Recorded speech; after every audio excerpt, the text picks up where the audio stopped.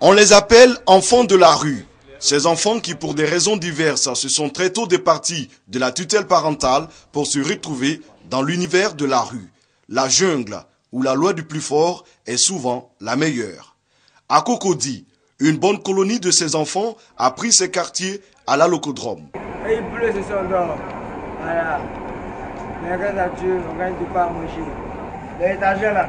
Deux, deux. Voilà, c'est la liste dit. On personnes. Pour ces gamins, dont l'âge varie entre 7 et 19 ans, à chaque jour suffit sa peine. Se battre pour survivre par tous les moyens, même le vol.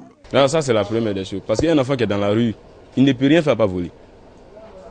Il n'a pas de travail, il n'a pas de maison, il n'a rien.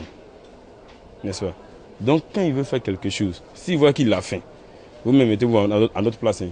quelqu'un qui a faim, qui n'a rien dans la poche pour manger, qui demande, on ne le donne pas, qu'est-ce qu'il va faire?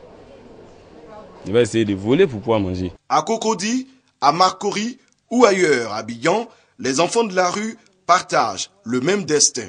La rue, certains enfants, généralement les plus grands, s'y plaisent et on finit par s'y habituer. Quant aux plus petits, il leur arrive souvent de craquer. Je suis ici, je veux que mon papa vienne me chercher ici. Là, mon papa n'est plus avec maman. Je veux qu'il vienne me chercher.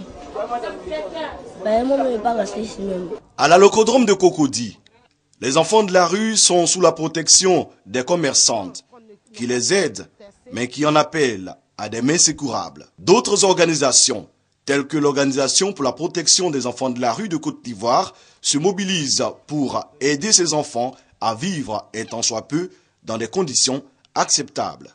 La journée mondiale des enfants de la rue sonne comme une interpellation face à la réalité de ces enfants.